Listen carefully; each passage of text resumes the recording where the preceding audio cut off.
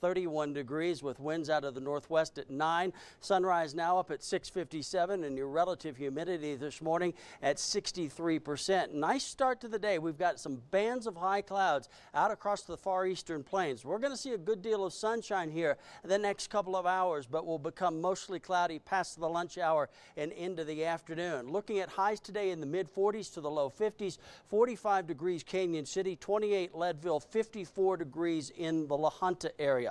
Here's our future cast. Again, you'll get a good deal of sunshine this morning, and then the clouds thicken up, and by 2, 3 o'clock, starting to see that snow develop in the mountains, especially the Sangre de Cristos, the wet mountains, the mountains and around the Raton Mesa also looking at heavy snow. That will intensify this evening and overnight into Wednesday morning. Salida down into the San Luis Valley. You can see right across the spine there of the Sangre de Cristos and down towards Walsenburg. Overnight, we will see some light rain and snow showers here, snow Colorado Springs and over into Teller County. Right now, it's not looking like more than maybe a trace to an inch or so of snow. The road conditions, again, have been pretty warm, so it should be uh, just wet on roadways tomorrow morning, but we'll keep you posted throughout the afternoon. Mary will have your updated forecast coming up today at 4 p.m. and We'll give you the latest at noon today, but you can see there, uh, Salida, Walsenburg, Trinidad, that's where the heaviest snow is going to be. And then you get a little bullseye there in the higher terrain west of Trinidad,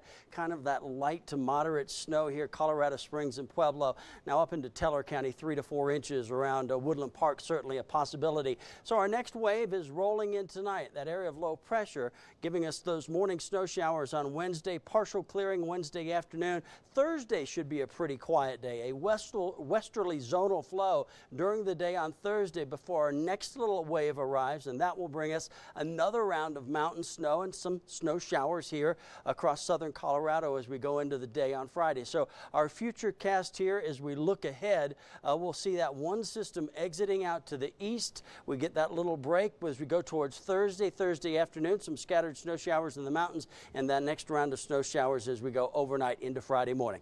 All right, Woodland Park, snow this afternoon and and tonight, several inches possible. Chilly tomorrow morning, 19 to 32. We get a break on Thursday, another round of snow showers on Friday, warming up and drying out heading into the weekend, Saturday and Sunday. For Cañon City, 46 rain and snow showers this afternoon, cold enough to switch it over to snow tonight. We get that break on Thursday, small chance for showers on Friday, nice looking weekend, 58 Saturday into the low 60s on Sunday. And for the Pueblo area, again, it's a rain snow mix this afternoon, this evening, switching over to a few snow showers overnight. And as we look down the road towards the weekend, how about 67 degrees on Sunday into the upper 60s, close to 70 on Monday.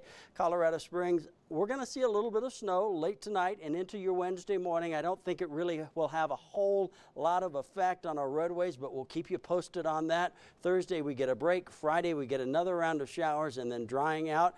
Weekend looking good. So let's concentrate on the weekend. 54 Saturday, 61 on Sunday. Now a check of your Tuesday.